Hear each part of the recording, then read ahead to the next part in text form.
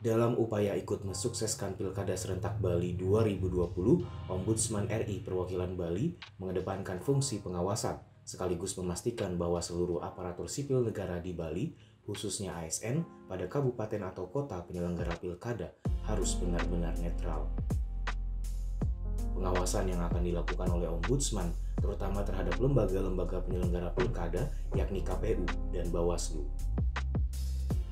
Pengawasan terhadap kinerja KPU dan Bawaslu dilakukan sebagai langkah preventif guna memastikan kedua lembaga tersebut menjalankan tugas sesuai peraturan perundang-undangan. Kepala Perwakilan Ombudsman RI Provinsi Bali Umar Ibnu Al-Hattab mengatakan, Ombudsman memiliki perhatian khusus untuk melahirkan pemimpin yang bersih dan pilkada tanpa propaganda politik lintas ASN.